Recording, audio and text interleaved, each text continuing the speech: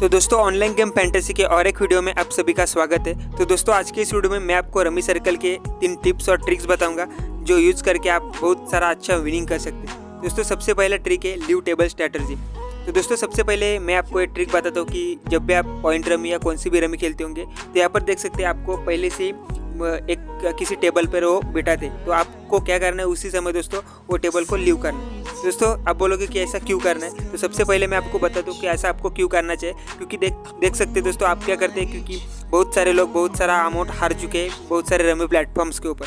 तो आपको करना क्या है दोस्तों, जैसे आपको क्या करते हैं, वो पहले से ही फिक्स एक टेबल पे बिठाते तो उससे होता क्या है दोस्तों कि वो पहले से कार्ड ऑटोमेटिक आते तो कार्ड सेट होकर आते तो आपको पहले से ही क्या करके रखते हैं, क्योंकि आप आपको तो सब वो गेम जीतने नहीं देंगे। तो वो क्या करते कि आपको कुछ गेम्स हारने भी देते। तो इसके लिए आपको करना क्या होता है कि पहले से वो एक टेबल पे आपको बिठाते। तो आपको क्या करना है? जैसे वो आपको टेबल पे बिठाते हैं ना, आपको लीव टेबल करना है। तो उससे क्या होगा कि जो उन्होंने स्ट्रैटर्जी बनाई होगी, वो स्ट्रैटर्जी टूट जाएगी। और आप जैसे दूसरे टेबल के ऊपर बैठ जाओगे तो आप काफ़ी अच्छी विनिंग कर सकती हो। मैंने खुद भी ट्राई किया तो आपको भी खुद ट्राई करना है दोस्तों।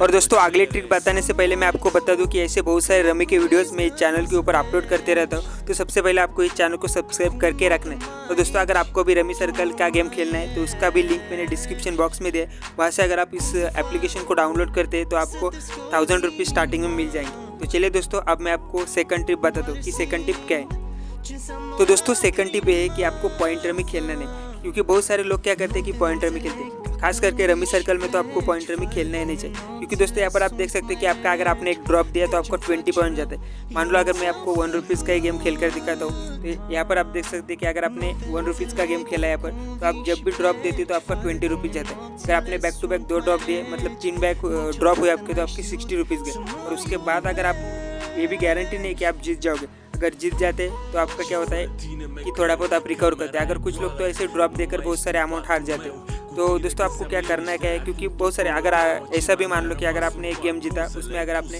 हंड्रेड रुपीज़ जीती तो उसके बाद होता क्या है कि आप तीन चार गेम हार जाते हो ड्रॉप देते हो तो वहाँ से आपका एटी रुपीज़ जाता है। तो इस तरीके से क्या होता है दोस्तों कि आपको पॉइंट रमे में ज़्यादा खेलने नहीं आपको करना क्या है, आपको यहाँ पर देख सकते हैं बहुत सारे पुल्स होते हैं। तो पुल्स में आपको खेलना वहाँ पर क्या होता है, आपको अमाउंट भी अच्छा मिलता है, वहाँ पर आप स्प्लिट भी कर सकते हैं और उसमें जो भी गेम्स होते हैं ना, वो आपके हाथ में होते हैं। तो इससे होता क्या है कि आप जैसे अपना स्किल्स दिखाओगे, क्योंकि आपको बहुत सारे मौके भी मिलते हैं यहाँ पर। तो आपको वही करना है, क्योंकि बहुत सारे प्लेटफॉर्म्स है जो यही एक ये करते हैं कि आपको क्या, और उनका ज़्यादा से ज़्यादा मार्जिन भी उसी में होता है। तो कहा आप देख सकते हैं कि बहुत सारे रमीज़ में ना क्या होता है कि बहुत जल्दी जल्दी गेम्स होते हैं। तो उससे उनको क्या होता है कि उनको फ़ायदा मिलता है, क्योंकि अगर आपने देखा होगा कि जैसे आप कोई भी अमाउंट जीतते तो उसमें से बहुत सारा अमाउंट कट होता है, क्योंकि वो एप्लीकेशन को कमीशन के रूप में जाता है। तो इसके लिए आपको करना क्या है कि ऐसे गेम्स में ज़्यादातर पॉइंटर में खेलना नहीं चाहिए। और दोस्तों, तीसरी और सबसे मेन ट्रिक दोस्तों नेक्स्ट टिप है जो कि आपको ये गेम्स नाइट में खेलने नहीं। क्योंकि आप क्या करते हैं, बहुत सारे लोग नाइट में ये गेम्स खेलते हैं। नाइट में मतलब क्या, ग्यारह से लेके बारह, एक, दो, तीन, ऐसे इस टाइम पे आपको खेलना नहीं, क्योंकि इस टाइम पे होता क्या है दोस्तों कि बहुत सारे जो प्रो प्लेयर्स होते हैं ना, वो प्रो प्लेयर्स इस टाइम पे यहाँ पर गेम्स खेलते तो आपको क्या करना है कि भूलकर भी ग्यारह से ग्यारह के बाद में गेम्स खेलना नहीं, क्योंकि वहाँ पर क्या होता है कि प्रो प्लेयर्स बहुत ज़्यादा होते तो उससे आपका जीतने का जो भी चांसेस होता है वो बहुत कम होते तो होप दोस्तों आपको ये टिप्स और ट्रिक्स जो भी मैंने बताए, वो बहुत अच्छे लगे होंगे। अगर आपको कुछ भी डाउट होगा तो ज़रूर मुझे कमेंट सेक्शन में नीचे बताना। और अगर आपको ये गेम डाउनलोड करना है तो डिस्क्रिप्शन में लिंक दे, वहाँ से इसको डाउनलोड करें। और ऐसे बहुत सारे वीडियोज़ के लिए आप ज़रूर हमारे चैनल ऑनलाइन गेम फैंटेसी को सब्सक्राइब कर सकते हैं। मिलते हैं नेक्स्ट वीडियो में।